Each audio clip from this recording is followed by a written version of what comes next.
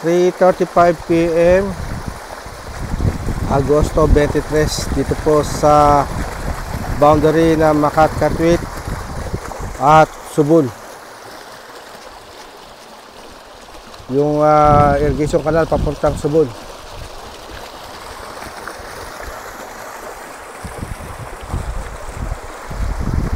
Malakas po yung ah, daloy ng patubig. Kahapon ng umaga, tuyong-tuyo dito. Ngayon, ah, ito. May umaagos na tubig na at malakas.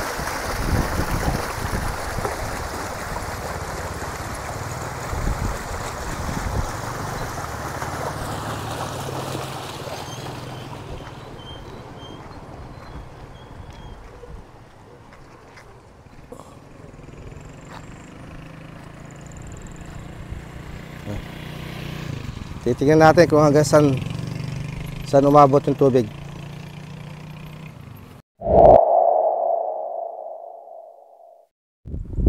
Alas 3.45 po ng hapon dito po sa Purok 2 ng ah, Subul. At nakita po natin yung tubig. Ayan. At